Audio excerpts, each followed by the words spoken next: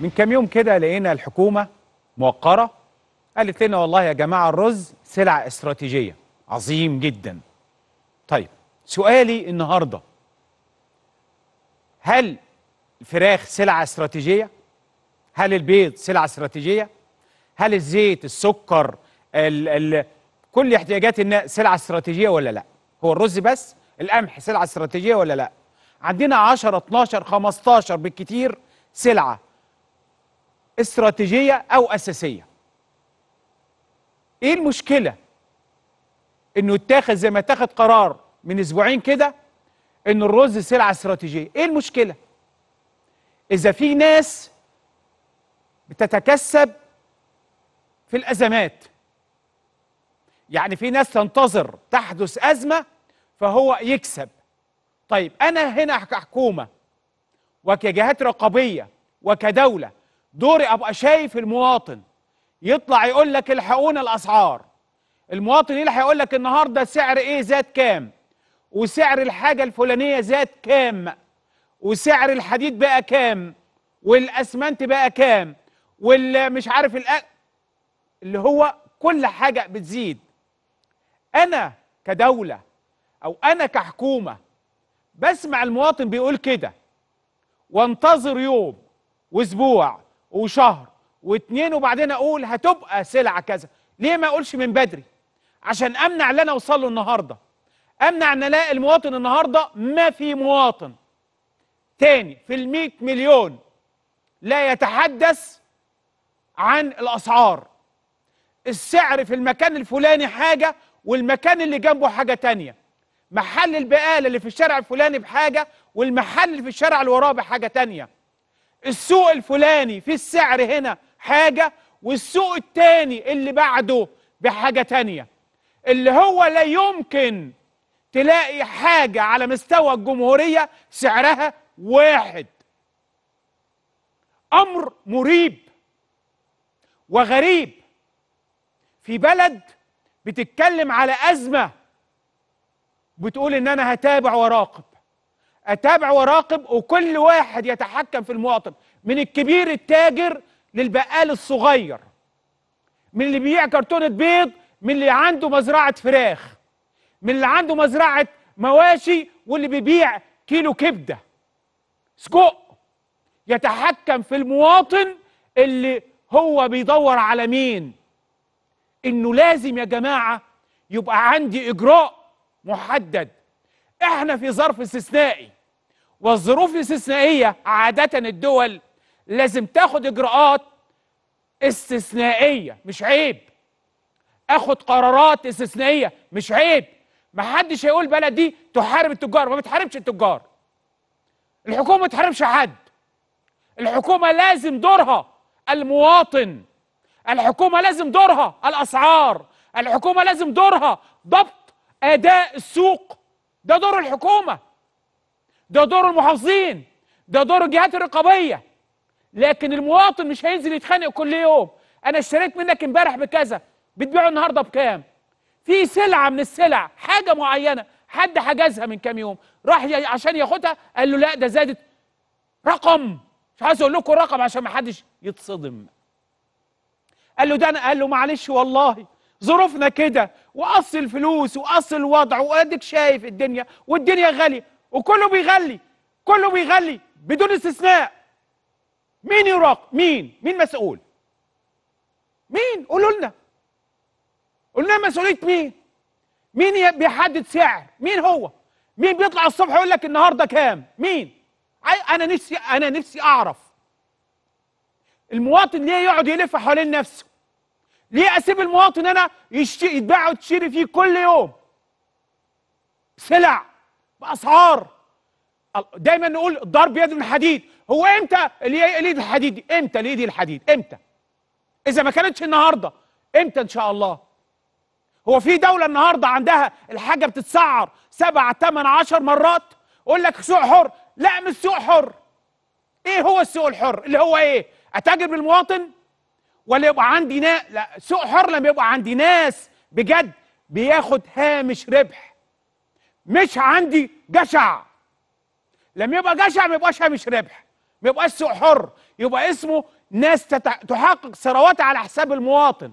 وفي غياب المتابعة وفي غياب الحساب وفي غياب الرقابة وفي غياب إجراءات كثيرة لازم كانت تتاخد من بدري مش النهارده. من بداية السنة مش آخر السنة. لأن إحنا عارفين الأزمات جاية. ياما الحكومة طلعت اتكلمت ياما ال- ال- ال- صندوق النقد اتكلم ياما البنك الدولي ياما المنظمات الدولية كلها اتكلمت. الأسعار الأسعار والأسعار طالعة والأسعار اللي جاية طالعة وطالعة وطالعة. أنا هعمل إيه؟ أقعد أتفرج؟ نقعد مستنيين إن شاء الله المواطن ده يعمل نعمل معاه إيه؟ مواطن غلبان. مواطن محتاج والله محتاج أديله فلوس أديله دعم أساعده أكتر أقف معاه أكتر. أقول له لا ده أنا معاك لا يمكن هسيبك للناس هنا ولا هنا. ما ينفعش يا جماعة. سلع استراتيجية لازم تدخل فوري من الدولة. لو أنا مش هتدخل النهارده اتدخل إمتى؟ ما أنا عملت الرز. سلعة استراتيجية. الزيت. سلعة أخبارها إيه؟ ده إحنا كله بنستورده من بره. بندفع قد كده الزيت. سكر أخباره إيه؟ قمح أخباره إيه؟ كل ما هو يتعلق بالمواطن أكله وشربه اليوم والنهار. المواطن على فكرة ولا فارق معاه حاجة النهارده إلا اضبط السوق. اظبط لنا الأسعار يا جماعة. الحقونا يا جماعة. هو ده المواطن. هو ده المواطن اللي بيتكلم. فأنا أتحرك النهارده أتحرك بكرة. كل ما أتأخر المواطن بيدفع ثمن لأنه بيدفع ثمن بجد. يدفع ثمن حاجة المفترض إن ياخدها النهارده بقرشين ياخدها بخمسة. ليه؟ ما ياخدها بقرشين. يبقى المواطن أنا بستفيد من بدي المواطن اهو وقفت معاه. مسألة الإتاحة بنتكلم على آه بنتكلم على الإتاحة. طيب واتاحه موجودة. محدش قال لأ لكن في نفس الوقت ما أقدر الإتاحة موجودة مع كمان مواجهة أي زيادات غير مسبوقة. ما هو اللي بيزود ده بيزود ليه؟ عشان هو ما حدش يعمل له حاجة. قال لك كده. هيعملوا ليه يعني؟ بزود. طيب ال- ال hyper ولا السوبر ماركت ولا ال- المحلات التجارية ولا البقال الصغير ده لما يقعد يزود على المواطن. ما حدش يقول لي في حاجة ثابتة مفيش حاجة ثابتة في مصر. في سعر ثابت في مصر. ما فيش سلعة واحدة وأنا بقول لحضرتك أضرب من أول اسكندرية لحد أسوان. حد يجي يقول لي سلعة واحدة إزازة زيت سعرها في اسكندرية هو اللي في أسوان أو سعرها اللي في سوهاج هو اللي في الوادي الجديد. كيلو السكر كيلو مش عارف العدس الفول يعني في حاجات كتير مش عايز اقعد اتكلم واوجع دماغ حضراتكم بيها. يا جماعة ما ينفعش الكلام ده. التحرك الآن قبل غدا. التحرك الآن وليس بكرة. كلما تحركت بإجراءات يبقى لازم آخد إجراءات وإجراءات مواجهة. اسمها إحنا بنواجه. مش عيب. ابدا. إذا في ناس تم تحذيرهم شهور طويلة ولم يلتزموا. يا جماعة اقفوا معانا الفترة ديت. يا جماعة بنطبطب عليكم الفترة ديت. في ناس كويسة جدا آه ولكن في غالبية كبيرة قوي ما بتعملش كده. طب إلى متى؟ مسألة الاحتكار طيب تواجهه إزاي؟ عندك قوانين. وينزل جهاز حماية المستهلك وينزل الناس النهارده بيتكلمون على الأعلاف. أعلاف إيه اللي هي بنخرجها من المواني وبندفع دولارات من البنك المركزي وناس ياخدوها يتاجروا فيها؟ اللي هو إزاي يعني؟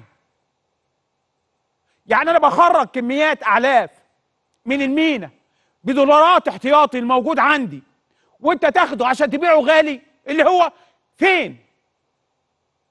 في أي مكان يعني؟ تنزل حملات من التموين ووزارة الزراعة وحمايه المستهلك وينزلوا يشوفوا. وناس بقى إيه؟ تبيع لك حاجات خلصانة بقى لها شهر وبقى لها سنة وبقى لها تسع شهور. طبعا يلا بيع وبيع. هو حد بيحاسب هو حد بيدور؟ هتنزل النهارده على مكان. هتنزل على كام مكان يعني؟ مي- مية ألف مكان. عندك 400 500 ألف مكان تانيين ما حدش باصص عليهم. المواطن. المواطن. ما ينفعش.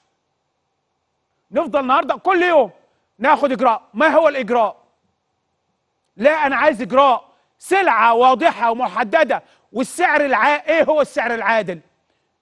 شوف الإنتاج بتاعه كام تكاليفه كام مدخلات الإنتاج قد إيه وقول له بقرش ونص بجنيه وربع. هو ده. يبقى أنا اديته وحددت.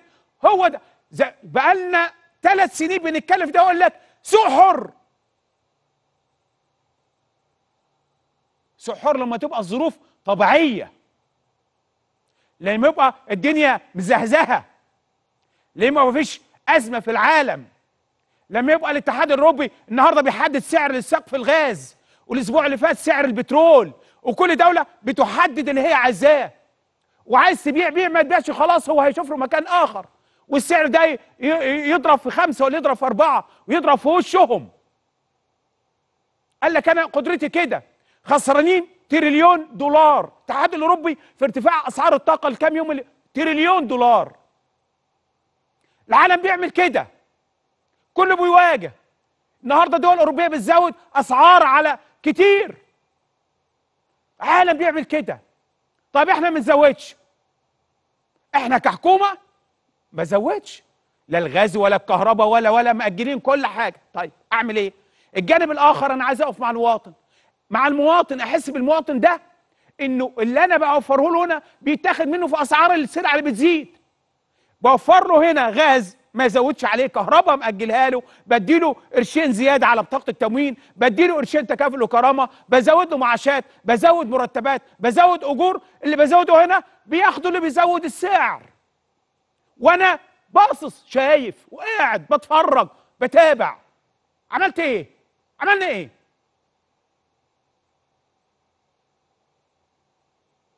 لازم تحرك الآن مش بكرة. يا جماعة الموضوع واضح. مش محتاج إنه كل يوم حد يطلع يقول. نتكلم على عدالة. هو إيه لم يبقى فيه عدالة؟ هو إيه لم يبقى فيه عدالة في السعر؟ هو إيه؟ إيه المشكلة؟ بدل ما يكسب 100% ما يكسب 20% حلو. في ظروف كارثية. بقولش ما يكسبش. بقولش ما حدش بيشتغل ما حدش بيشتغل كده يعني. اكسب بس بلاش الجشع. فارق ما بين مكسب وما بين جشع. فارق كبير. فارق كبير. فأنا لو بتكلم النهارده على ده بنعمل إيه؟ إجراءات اللي بتتم النهارده. لازم إجراءات وسريعة جدا. عندي 10 سلع 11 12 15 17 سلعه بالكتير. قرار استراتيجي. هذه سلع استراتيجية وحدد أسعارها فورا. بإجراءات. فورا. مش بكرة. سريعا. كلما اتاخرت على حساب المواطن على حساب جيبه. بعمل واشوف واتكلم في الموضوع ده. إذا إحنا سيبنا الناس. طب هل التزموا بالأسعار اللي قلنا عليها؟ لا. يا ما وزير التموين عامل اجتماعات. يا ما رئيس الوزراء عامل اجتماعات. يا ما كله عامل يا جماعة الظروف ونقف ونساعد. وبعدين؟ وصلنا لحد كام؟ كل حتة.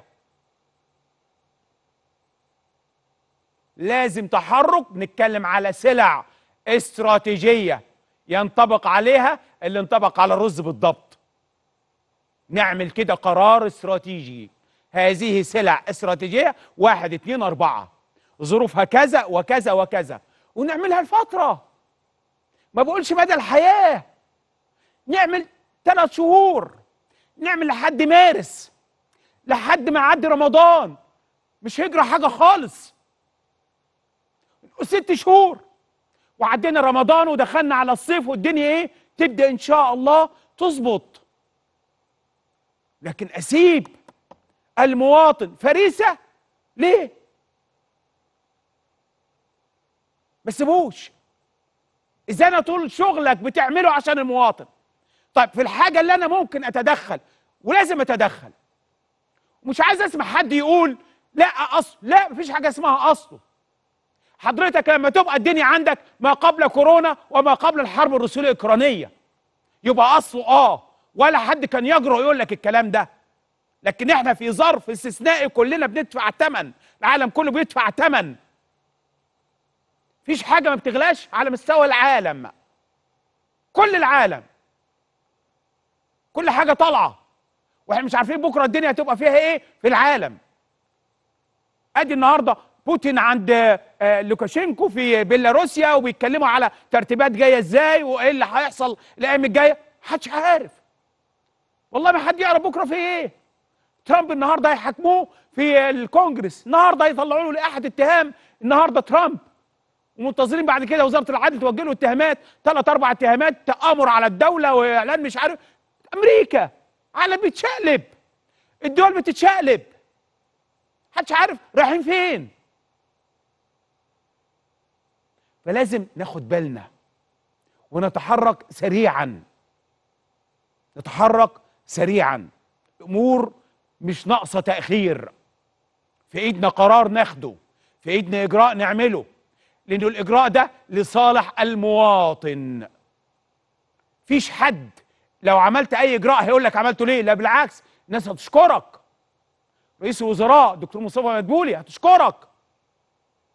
عندما آخذ هذا القرار لأنك تنحاز المواطن تنحاز المواطن. لكن القرار ده محتاج انحاز حياز كامل. محدش يتاجر فيه. محدش يبيع ويشتري في المواطن وإحنا قاعدين نشوف. لا. لأنه عملنا. وقلنا نسيب الناس أسبوعين. طب قولوا لي النهارده كام محل؟ على مستوى الجمهورية حط أسعار. حد يقول لي؟ مفيش. مش مدين أسبوعين؟ طب الأسبوعين قربوا يخلصوا. يوم الثلاث الجاي هيبقى خلص أسبوعين. هيعملوا في الأسبوع اللي جاي ده؟ بيفكروا يعني؟ ده ناس بتخبي السلع. بيشيلوها. إخفاء سلع. تروح خلاص هنعمل إيه؟ مش موجود. تعمل له إيه يعني؟ تروح تدور في المخازن؟ وإلا بالسعر ده. طب فين يا عم سئله هو كده. يهز لك كتافه كده ويتكل من قدامك. ليه مفيش أسعار؟ مش هو كده بيه الحكومة اعلنت يعلنوا. هو كده. يبقى أنا فين؟ يبقى لا أنا موجود. أنا كجهات ومسؤولين ودولة موجودين وحكومة موجودين. مفيش حاجة اسمها حكومه تقول وإحنا هنعمل مفيش حاجة اسمها كده. في حاجة اسمها دولة موجودة. دولة هدفها المواطن. وتاخد إجراءات كاملة لصالح المواطن زي ما بتاخد طول الوقت إجراءات لصالح المواطن ودعم المواطن. وإحنا أجلنا سياده الرئيس أجل الكهرباء ليه؟ أجلها ليه سياده الرئيس الكهرباء مش كان يقدر يرفعها ويقول زوق ارفعوا وزارة الكهرباء عندهم شريك يعملوا؟ قال لهم لا أجلوا. طب سياده الرئيس ما زودش غاء ليه؟ ما زودناش وقود الفترة ليه؟ ما عمل ليه؟ عشان المواطن. عشان المواطن. ليه زودت المواطن فلوس؟ لحد 30 6 الجاي. ما كان ممكن أعملها شهر وخلاص. هي اتعملت 30 6 كده يعني ولا اتعملت عشان الأزمة قد تصل إلى 30 6 القادم. بدرنا المعاشات وبدرنا المرتبات وبدر ليه؟ عشان معاناة الناس فنساعد الناس أكتر أهو. يبقى ده بقى مليون أسرة وبقى عندي خمسة مليون أسرة جداد بيدخلوا. ليه؟ عشان معاناة الناس حاسين بيها. يبقى هنا أنا شايف وبتحرك والناحية الثانية السوق يفلت مني. يفلت مني السوق. إزاي يعني يفلت مني؟ يعني إيه؟ مش حاجة اسمها كده.